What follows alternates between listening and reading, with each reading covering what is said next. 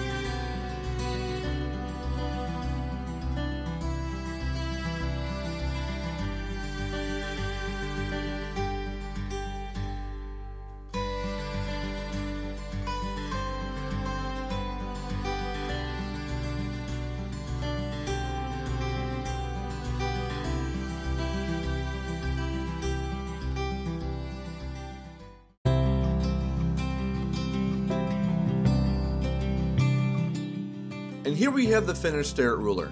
You can see here that not all the scratches came out of the ruler, and I'm perfectly okay with that. I honestly do not mind the character that still remains. I'm just happy to see I gave it a more uniform look, all while maintaining the integrity of the logo and etchings on the ruler. Because honestly, those were the things I was most worried about. Now I'm a big fan of the underside of the ruler because of all the character it has, but I'm also partial to the logo on the other side. I'm pretty sure there are some out there who won't care too much for the high gloss shine I put on the ruler, but I think it looks great, and the camera does not do it justice whatsoever. Overall, I love the look of the ruler, and I wouldn't change anything about what I did. With that being said, I hope you enjoyed this week's video. If you haven't already, I'd like to invite you to subscribe to my channel. Also, if you have any comments or questions about this project, please feel free to leave those below and I will address them when I can. As always, thanks for watching, and until next time, take care and have a good one.